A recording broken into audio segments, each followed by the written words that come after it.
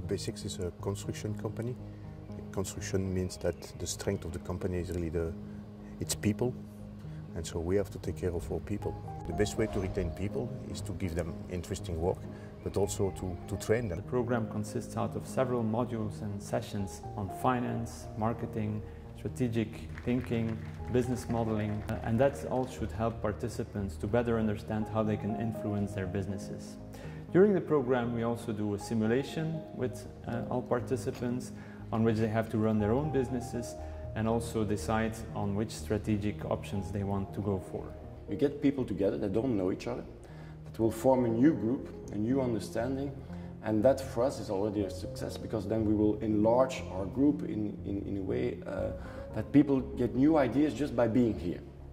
Uh, secondly, I think uh, the program as well gives some insight in basic management uh, ideas um, through the professors, through the case studies, uh, um, and it gives as well these people a new a, new view of the world. So, and the, the third advantage is that for the first time in their career, for, they will have to sell their idea in front of now here the Besix uh, Executive Committee, making sure that they that they convey their message, that they motivate uh, people of the Executive Committee to believe in them.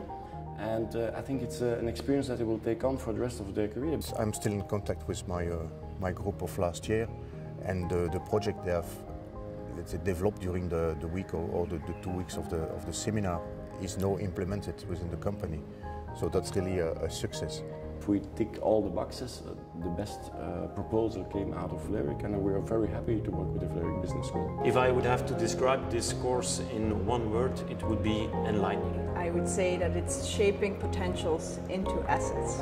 I would use three Fs, and they would be fun, fast, and fantastically insightful.